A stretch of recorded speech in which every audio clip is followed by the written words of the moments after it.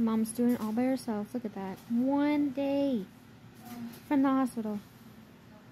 You can do it, Mama. My mom. Look at my mom. Look how amazing this is. God is so good. One day.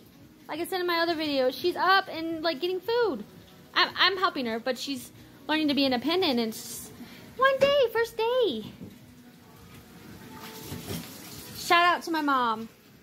She's the bravest and strongest woman I've ever met.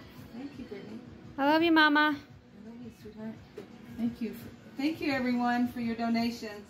It's very appreciative. Thank you so much. We've raised 190 on GoFund. We just need another. I don't know how much it is. I don't. I'm not. I don't, I'm not good with math, but we need. Just to help with paying the anesthesia, that's all. Yeah, copay.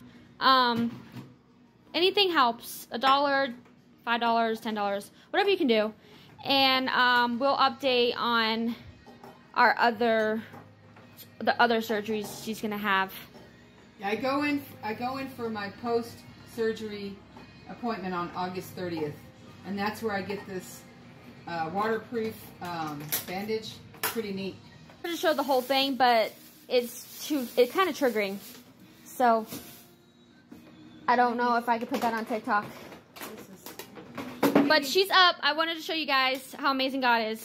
Like, it's amazing. Love you guys. God bless.